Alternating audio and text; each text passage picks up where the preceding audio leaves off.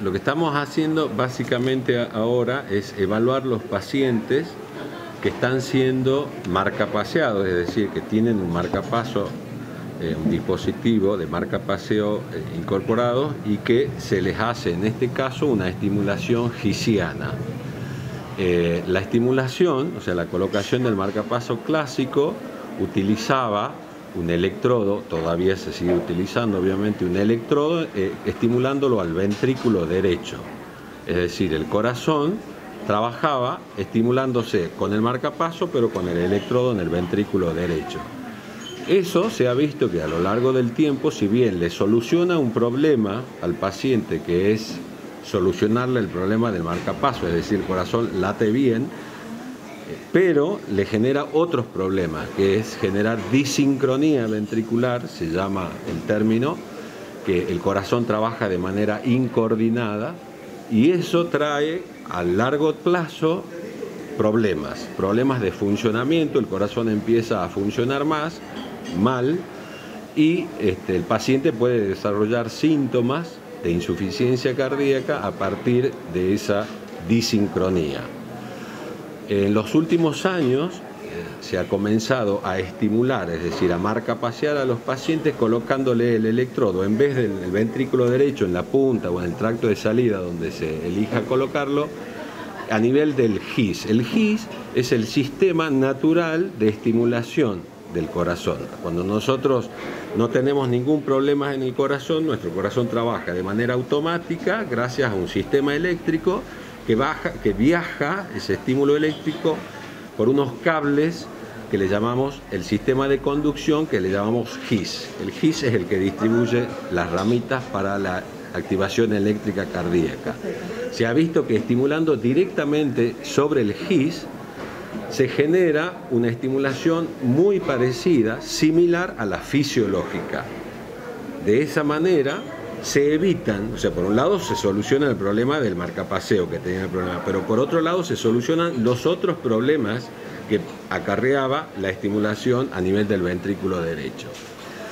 Lo que estamos haciendo ahora es eh, estudiar un grupo de pacientes que, más allá de que necesitaban la estimulación cardíaca, es decir, que necesitaban marcapaso y que se le puso en el GIS, son pacientes, la mayoría de ellos chagásicos y eso también eh, eh, es en parte una novedad en esto, es decir, estamos viendo el resultado de la estimulación gisiana en pacientes con cardiopatía chagásica. Y lo que se puede ver en base a lo que venimos trabajando es que ese beneficio que brinda la estimulación gisiana se mantiene también en este grupo de pacientes.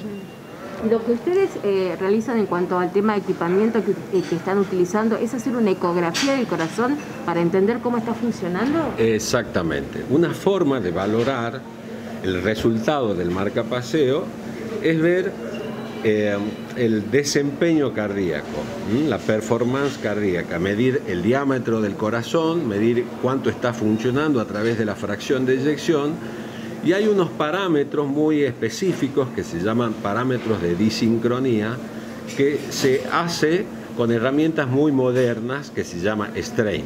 Acá eh, la clínica tiene esas herramientas, entonces estamos valorando los parámetros convencionales, como ser el tamaño del corazón, la fracción de expulsión, que es cuánto expulsa el corazón en cada latido, y con estas nuevas herramientas, con el strain, estamos valorando el desempeño, la sincronía cardíaca con esta forma de estimulación.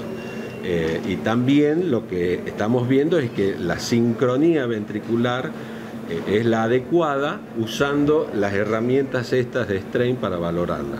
Eh, tenemos, este es el equipamiento nuevo que adquirió la clínica y entendemos por lo que se conoce que es la segunda clínica a nivel país que está implementando este tipo de este, bueno, alternativas. ¿no? Sí, puede ser. Como le dije, es una herramienta, es una forma de trabajo de la estimulación gisiana que ah, en los últimos años va eh, generando cada vez más adeptos. Al ver los resultados que se obtienen, eh, va generando cada vez más adeptos. Eh, digamos, uno de los pioneros, los que más impulsaron esta técnica son los europeos en España y hasta que los americanos comenzaron a desarrollar y hoy en día le diría que casi en todo el mundo la tendencia actual es tratar de hacer la estimulación gisiana. Doctor, para finalizar, coméntenos, usted este, es, cardiólogo, este, entendemos que tiene un doctorado. Claro, sí, sí, sí, yo, yo soy médico, cardiólogo, ecocardiografista, soy doctor en medicina y soy codirector de, de, una, de una diplomatura en imágenes cardíacas que dicta la Universidad Nacional de Tucumán.